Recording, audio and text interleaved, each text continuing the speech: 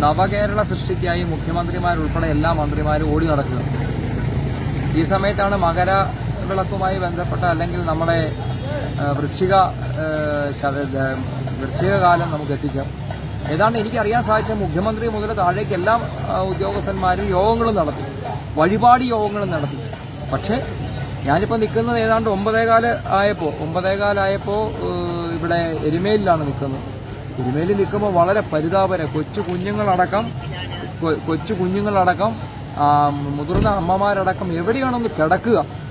കാരണം ഇതെല്ലാം പിന്നെ ഒന്ന് മെസ്സാക്കി അല്ലെങ്കിൽ മറ്റതൊക്കെ മറ്റ് കാര്യങ്ങളിലേക്ക് ദേവസ്വം ബോർഡ് ആക്കിയപ്പോൾ വിരിവെക്കേണ്ടതെല്ലാം അന്യാധീനപ്പെട്ടു. പക്ഷെ അതിന്റെ ഇരട്ടി ആളുകൾ വരുന്നു. മുമ്പുള്ളതിനേക്കാൾ ഇരട്ടി ആൾ വരുന്നു. അവർക്ക് കുളിക്കാനുള്ള സ്ഥലം തന്നെ കണ്ടു കഴിയുമ്പോൾ വളരെ ദയനീയമാണ്. വളരെ ദയനീയമാണ് കന്നുകളെ കുളിപ്പിക്കുന്ന പോലെ കുളിക്കുന്ന പോലെ കുളിക്കേണ്ടി കാണുന്ന വരുന്ന അവസ്ഥ. ഇതിനേക്കാൾ അപ്പം ഇതിന്റെ ചുറ്റുവാരമുള്ള റോഡുകളെല്ലാം പൊട്ടിപ്പൊളഞ്ഞു കിടക്കുക.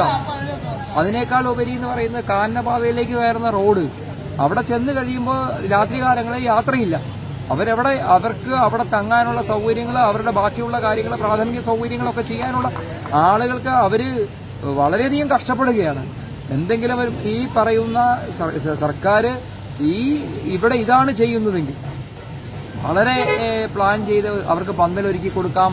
എത്രയോ അധികം ആൾക്കാരെ നമുക്ക് ഈ സീസൺ കാലത്ത് നല്ല രീതിയിലേക്ക് ദർശനം നടത്തി വിടാൻ കഴിയും. നമ്മുടെ നാട്ടിൽ വരുന്ന ഇവരെ ഇവിടെ എം എൽ എമാരും എം പിമാരും ഒക്കെ ഉണ്ട് ഇതിനെക്കുറിച്ച് വലിയ ഒരു വലിയ രണ്ട് മൂന്ന് ഷെഡുകളോ എന്തെങ്കിലും കൂടെ തയ്യാറാക്കി കൊടുത്താൽ ഇവിടെ വരുന്ന സാധാരണക്കാരന് അത് വലിയ ഉപകാരമാവും.